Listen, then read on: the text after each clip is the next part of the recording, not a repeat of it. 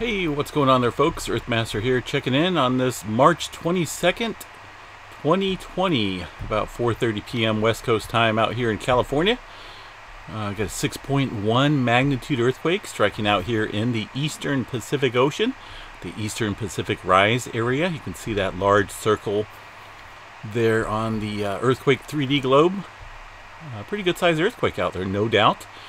Um, let's go ahead and check out some information about that quake here real quick. I don't believe there's going to be any type of tsunami warning with this, which there isn't, but I always do like to check. Uh, no reports felt out there. Apparently nobody's uh, living out there, right? Um, so yeah, no tsunami uh, statement. It is, or it did take place about 10 kilometers below the surface there. Another interactive map right here.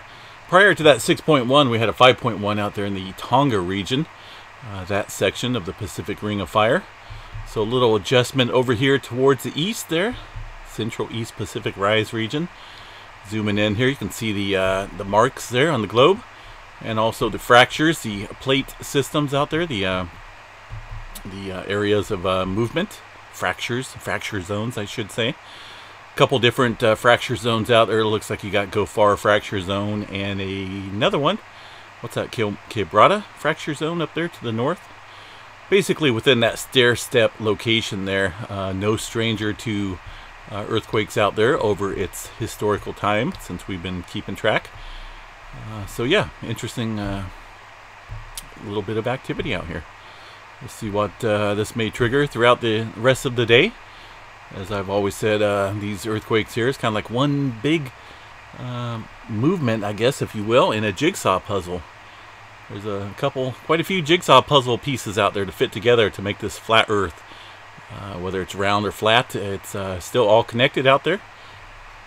Anyway, I'm going to head back outside and uh, I'm trying to get the yard mode out here today, folks. Just kind of a nice day.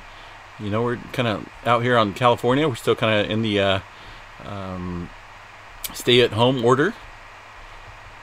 So just trying to get some uh, yard work done and uh, hanging out, I guess, enjoying life. Anyway, folks, uh, stay safe out there. We will talk to you on the Earthquake Live 3D stream here in a little bit.